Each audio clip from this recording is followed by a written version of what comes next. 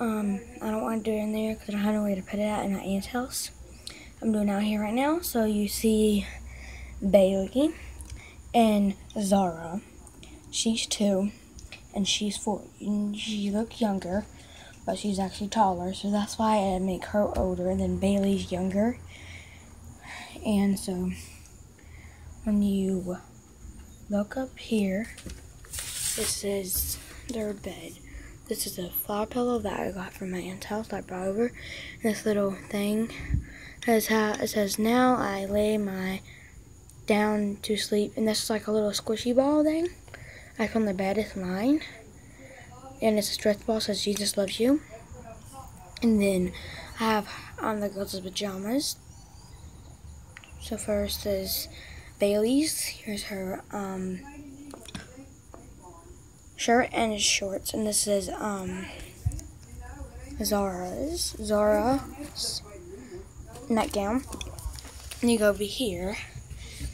Here is my toy phone. It's Ariel. Doesn't work. See? I use for my phone, and then here is Zara's bottle. Here is Bailey's bottle.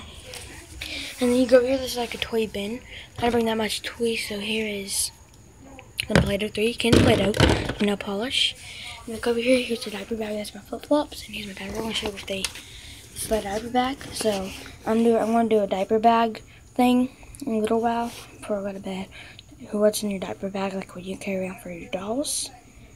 And that's that, and actually out on my porch, and you can see Hi, I'm Bailey and I'm two, and I like dogs, and my favorite color is pink.